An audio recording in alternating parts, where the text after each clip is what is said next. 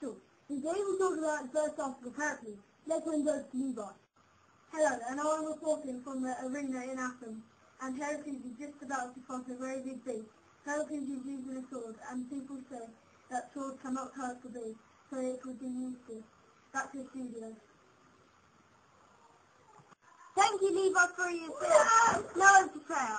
Now Heracles is fighting the beast, and whoa, Heracles is stripping the skin off the lion. He cannot be beat.